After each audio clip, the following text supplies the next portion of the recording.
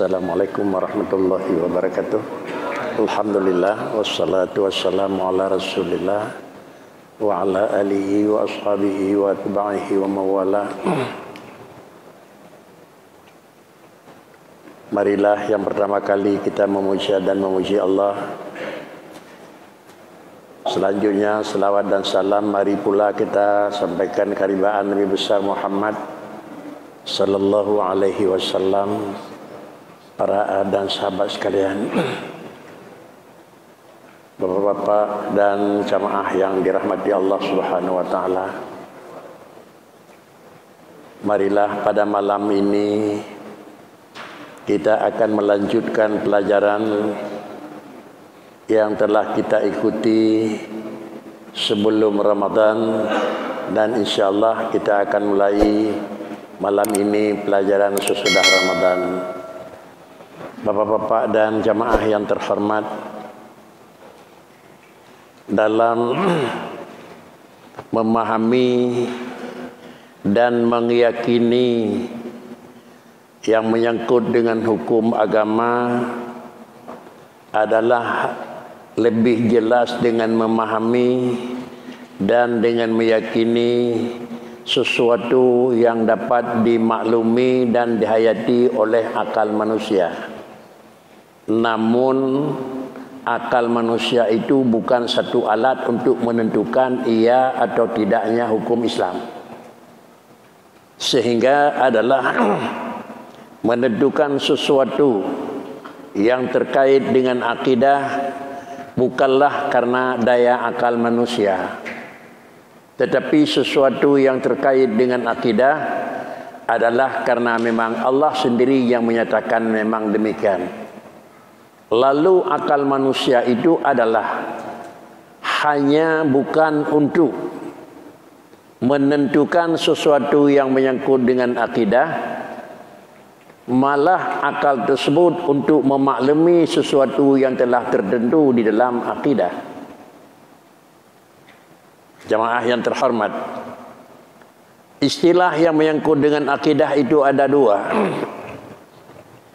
Yang pertama diistilah dengan dalil yang dasar untuk menentukan apa dan bagaimana yang ada pada Allah. Istilah yang kedua adalah dengan dalil, dengan keterangan, dengan istilah yang bukan dalil dasar. Tapi adalah dalil akal. Keterangan yang menunjukkan dasarnya adalah diistilah dengan dalil nakli.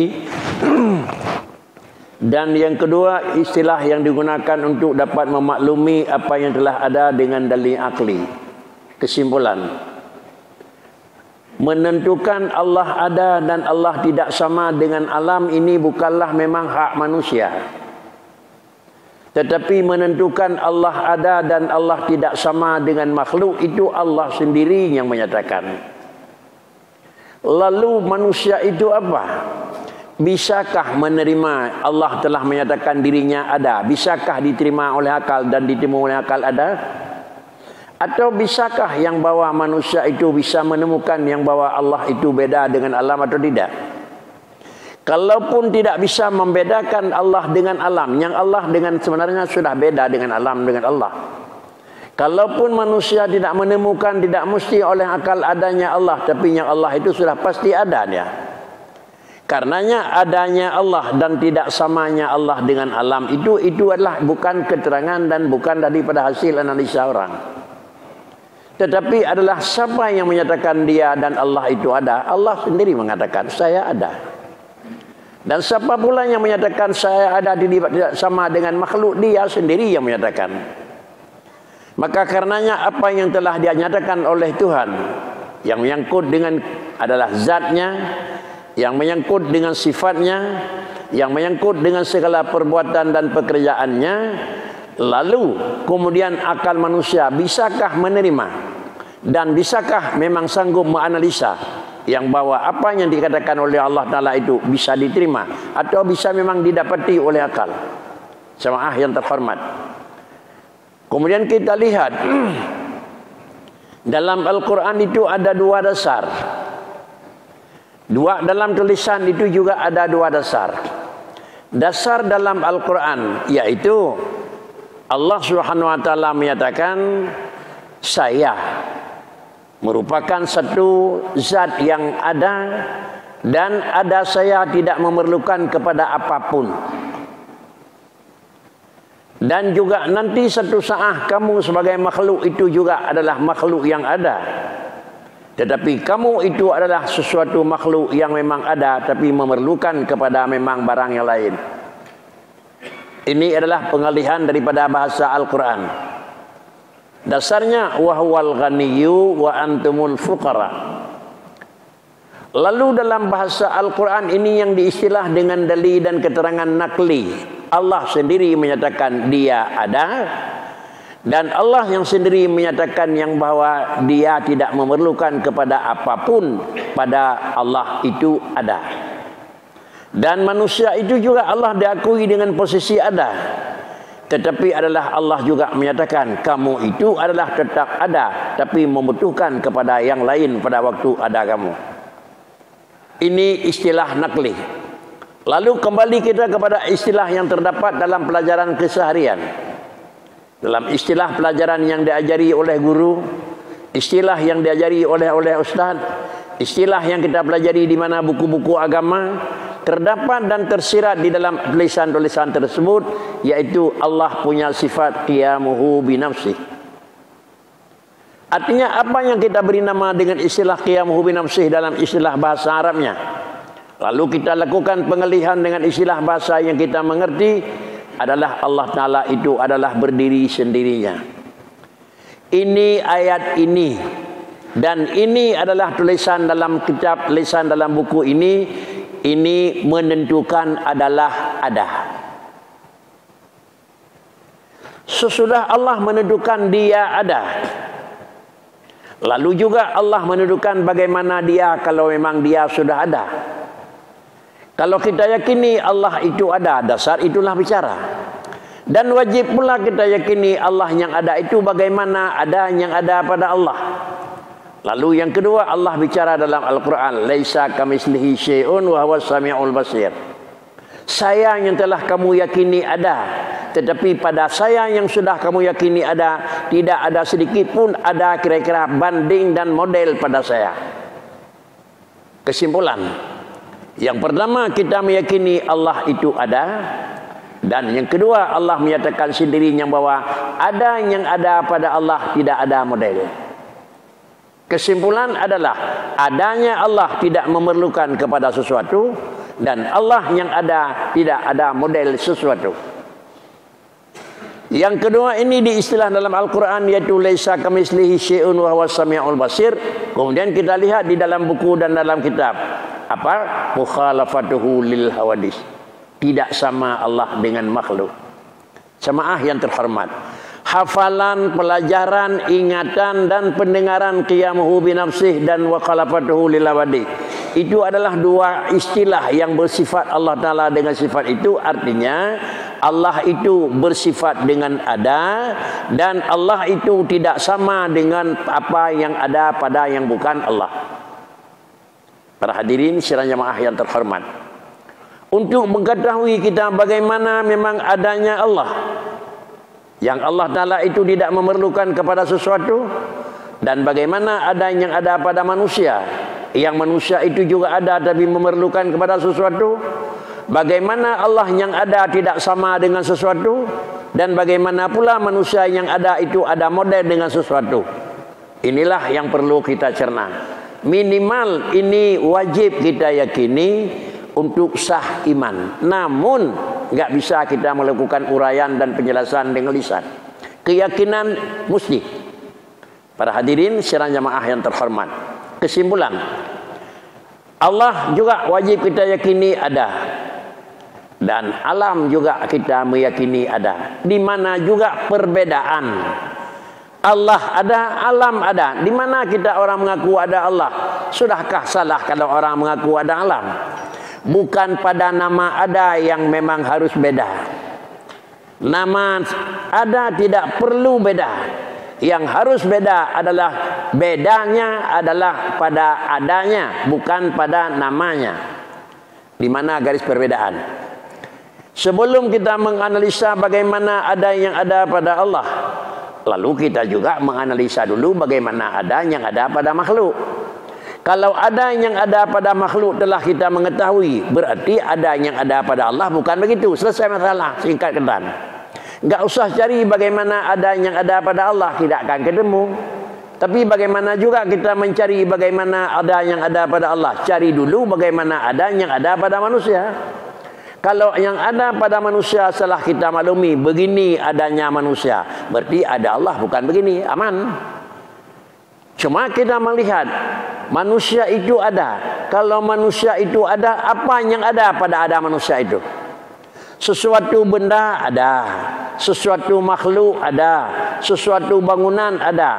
Apa ketentuannya sehingga manusia itu ada, makhluk itu ada dan bangunan itu ada? Ketentuannya apa? Tentu kita cerna. Ketentuannya manusia dan itu ada, makhluk itu ada dan bangunan itu ada, minimal tidak akan lepas dengan satu daripada tiga. Tidak akan lepas. Yang pertama kalaulah bangunan itu ada, yang pertama dia harus ada keterkaitannya dengan taman. Kapan ada? Pasti. Yang kedua, satu bangunan itu ada tidak bisa lepas dengan keterkaitannya di mana dia itu ada. Dan yang ketiga adalah tidak akan lepas bagaimana dia itu ada. Itu mesti.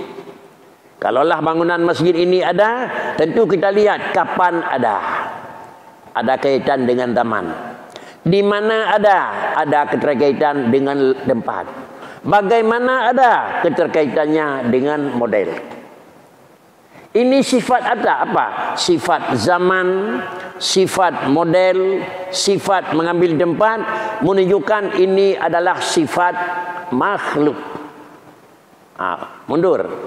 Allah itu ada kalau Allah itu ada jangan tergambar kapan, di mana, bagaimana. Enggak usah gambar itu. Kenapa enggak usah gambar di mana dan kapan dan bagaimana? Kalau memang juga Allah ada tapi di mana? Allah Taala ada bagaimana? Allah Taala ada kemudian juga memang kapan?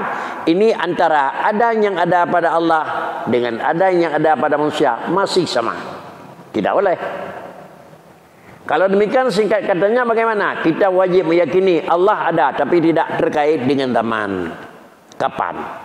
Allah ada tidak terkait dengan tempat di mana. Allah ada tidak terkait dengan model bagaimana. Ini bicara ada. Kalau ini bicara ada, lalu bicara sesudah ada. Tadi bicara ada bangunan masjid, sekarang bicara masjid yang sudah ada. Itu lain. Lain memikir ada masjid, lain juga memahami masjid yang sudah ada. Itu pasti. Lain, nah lain hena nangko. Oleh karena demikian bagaimana masjid yang sudah ada tidak bisa lepas dengan bagaimana adanya ada pada masjid. Kalau ada masjid terkait dengan taman, masjid yang sudah ada pasti mengikat dengan taman. Kalau memang ada masjid terkait dengan tempat, masjid yang sudah ada pasti ada tempat. Kalau masjid waktu ada masjid terkait dengan model, masjid yang sudah ada pasti ada model nengko. Yang nyahan nengko.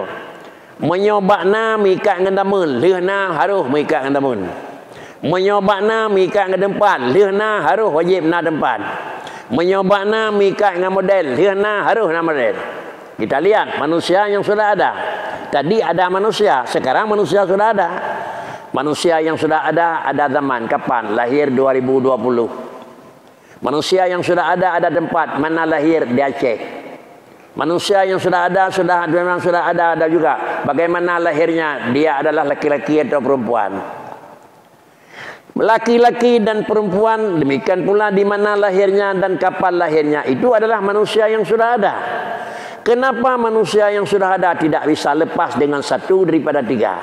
Tidak lepas dengan tempat, tidak lepas dengan taman, tidak lepas dengan model. Kenapa enggak bisa lepas? Karena pada adanya enggak ada tiga. Karena adanya makhluk itu tidak lepas waktu kapan dia lahir. Kalau kapan dia lahir, tentu kira-kira sekarang dia di mana? Kemudian di mana dia lahir? Sekarang mau tanya juga dia sesudah lahir sekarang di mana? Aku. Lahirnya di Lusmawe. Sekarang di mana? Di Medan. Tempat pula. Dulu lahirnya, waktu lahir memerlukan di Lusmawe. Sekarang dia sudah menjadi penduduk warga Medan. Dia sekarang di Medan. Sama dengan lahir punya tempat dan sesudah lahir dia punya tempat.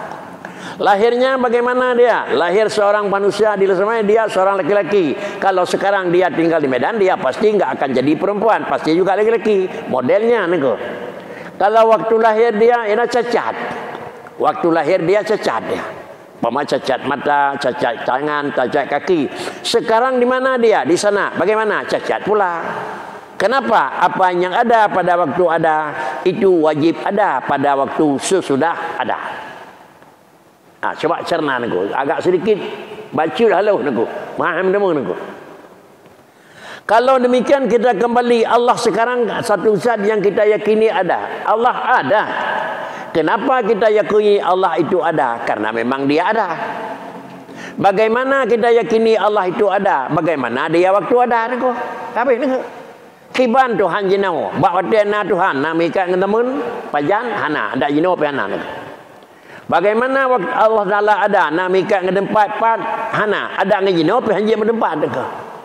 Bagaimana Allah Taala waktu ada? Ada model tidak ada? Ada jin apa nak potongan ni Ini sudah selesai ni Ada Allah ada di mana? Enggak usah cari di mana karena dia enggak punya tempat. Ada Allah ada kapan? Enggak usah cari zaman karena dia enggak terkait dengan zaman. Ada Allah ada bagaimana? Enggak usah cari bagaimana model karena pada dia enggak ada model. Habis. Sudahkah aman kepala? Kak tengah mulai itu, goh lam tengah ni Madang na tempat tanyang, tempat tanyang, tempat tanyang. Pakon teman beda antara na nyongan lagi hidih mentamun hinohan. Pakan beda na Allah hidih mentempat hinohan. Pakan beda hidih na potongan ba Allah hana ba menyo manusia na. Ah, cuba kita tingkatkan lagi sedikit pemikirannya. Yang memerlukan zaman, yang memerlukan tempat, yang memerlukan adalah model dipengaruhi oleh faktor yang lain. Faktor apa? Dua istilah dalam tauhid.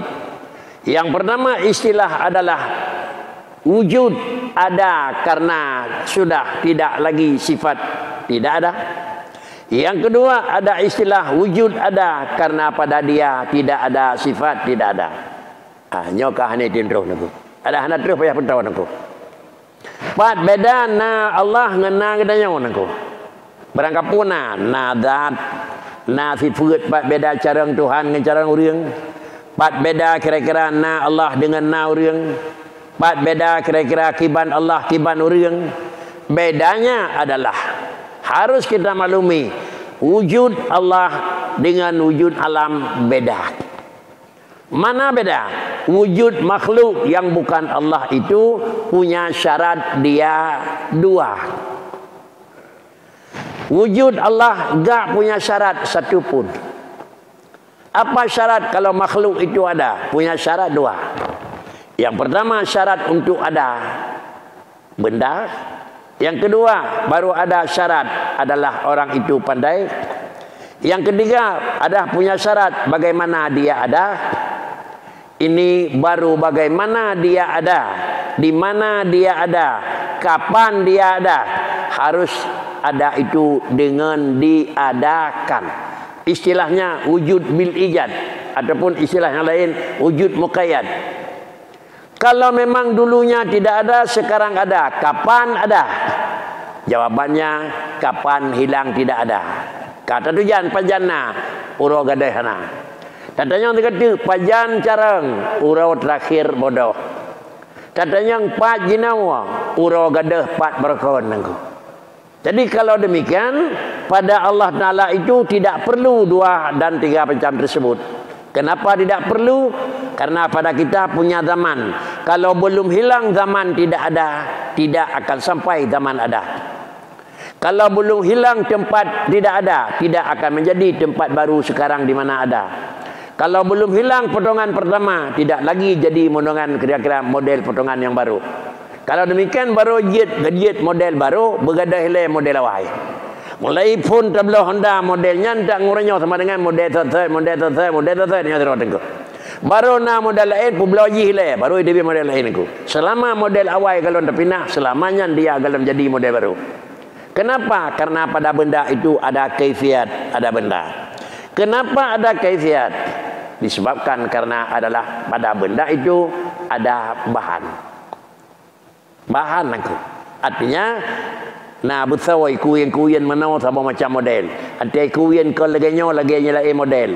Antai petepat plastik menan je ke model. Antai pecekok plastik je ke model lain. Sama dengan lumpang dan bengkok itu bukan memang sesuatu. Lumpang dan bengkoknya itu pengaruh bahan. Kalau bahannya lumpang, maka pandangan dia lumpang. Kalau bahannya bengkok, pandangan bendanya juga bengkok. Jadi bengkok dengan lumpang itu pengaruh bahan. Lalu kita nanya, adakah bahan pada masjid? Ada. Adakah bahan pada manusia? Ada. Mengingat ada bahan pada masjid, semennya, besinya, kata pasirnya, maka semuanya itu ada bahan. Pengaruh dia. Adakah bahan pada manusia? Ada. Ada memang ada darahnya, ada tulangnya, ada sunsumnya dan ada ada semuanya. Lalu kita nanya, adakah bahan itu pada Allah? Allah Ta'ala na bahan, na sawa Tuhan, hana. Na tuliang Tuhan, hana. Na darah Tuhan, hana. Na bentuk kulit Allah Ta'ala, hana. Kalau semuanya itu ada, tidak ada bahan, diistilahlah wujud bidat. Bukan wujud bidijat. Apa makna wujud bidat? Pakan Tuhan na, karena abah Allah, hana tipuan hana. Pakan urang kana, karena abah urang, hana le tipuan hana. Pakan Allah carang karena Allah hana bangai. Pakan kena carang bagusnya mau kai minah bangai niku. Selesai niku. Inilah yang memang harus kita pahami tulisan yang selalu kita baca. Kita memang baca semuanya. Sifat yang wajib bagi Allah Taala itu 20. Pertama wujud sampai mutakalim. Yang kedua juga wajib percaya 20 itu ada pada Tuhan. Selamping itu wajib pula kita percaya lawannya 20 enggak ada. Apa lawannya 20? Lawan ada tidak ada. Lawan pandai bodoh. Lawan mendengar tuli. Lawan melihat adalah buta. Lawan-lawan-lawan bicara adalah memang kira-kira itu tidak ada suara. Kalau demikian kenapa Allah Ta'ala selalu ada? Dijawabkan karena pada Allah tidak ada sifat tidak ada. Kenapa Allah semua selalu dia pandai? Karena pada Allah tidak pernah ada sifat jahil. Lalu kemudian kenapa Allah Taala selalu bicara? Dikarenakan karena pada Allah tidak ada sifat diam. Para hadirin sinanya maah yang terhormat. Menyomanan na yang na Tuhan hana payah pegod. Pu mana pegod na pegadai hana nya teruna hana payah. Kenapa enggak perlu dihilangkan Adam dulu supaya Allah ada? Dikarenakan Adam pada Allah Taala enggak ada. Kalau ada menyembah Allah dalam enggak ada. Untuk apa dihilangkan? Kita hilangkan barang yang tidak ada supaya tidak ada. Itu jadi kerja. Itu. Tetapi yang kita hilangkan barang yang tidak ada supaya jadi ada. Barang tidak ada pasti ada dulu. Baru kita hilangkan tidak ada. Baru jadi ada. Bagaimana kita mencari supaya manusia itu menjadi orang pintar? Caranya menghilangkan bodoh dulu.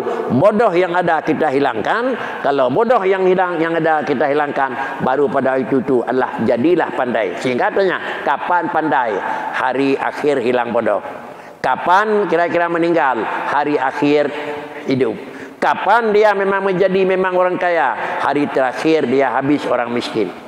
Maka diistilahlah pada manusia itu adalah wujud ada dengan diadakan dan ada yang ada pada Allah itu ada dengan tidak ada sifat tidak ada. Kesimpulan. Qiyamuhu bi nafsi itu bicaranya kepada ada. Mukhalafatuhu lil itu bicaranya sesudah ada. Kalau pada sifat ada tidak ada sifat baru Allah yang ada jangan sedikit pun kita yakini adalah Allah ada tempat sebab baru. Na Tuhan na mejan hana Tuhan yang kana na damun han.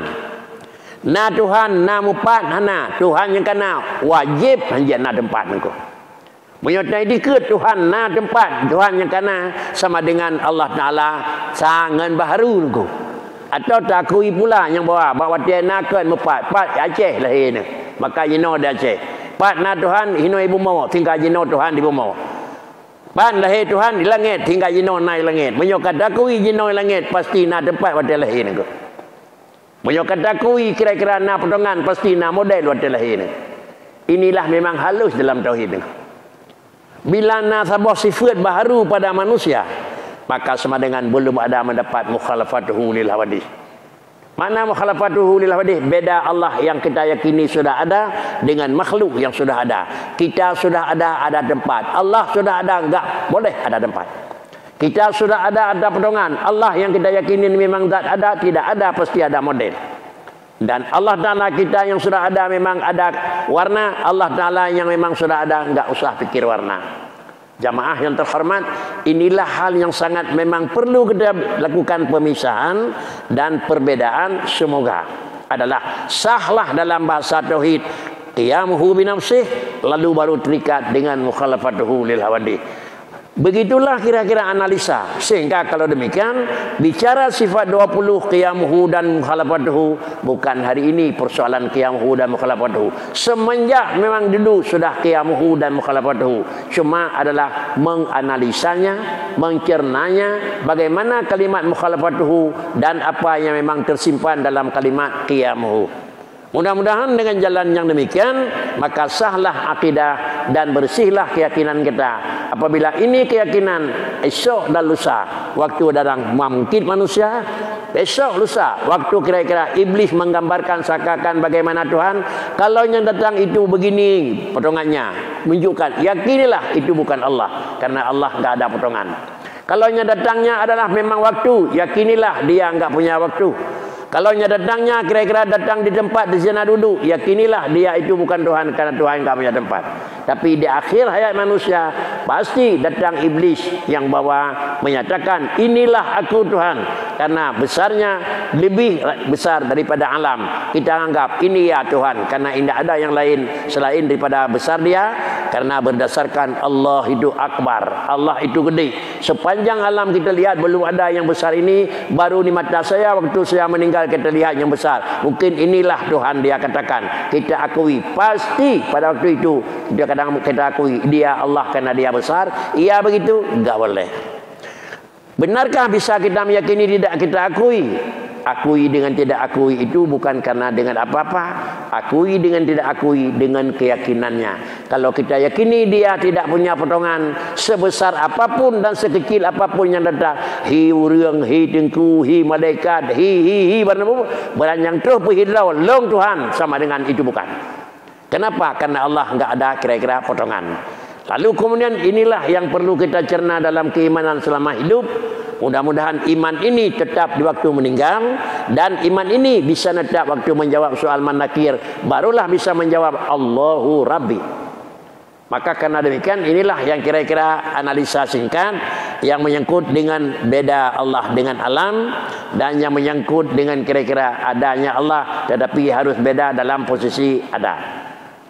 Selanjutnya untuk lebih lanjut ada pada zat, ada pada sifat dan ada pada afal. Mungkin inilah rincian satu-satu lebih waktu yang menentukan dan kemudian juga kita harus tidak cukup dengan sekali pertemuan tapi dengan secara kontinunya pertemuan. Mudah-mudahan dengan berulang kali kita ulang-ulang insya-Allah menjadilah pemahaman dan menjadilah keyakinan dikarenakan karena begitulah dalam sifat kita menjadi keimanan.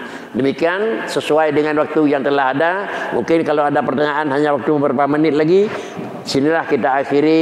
Assalamualaikum warahmatullahi wabarakatuh.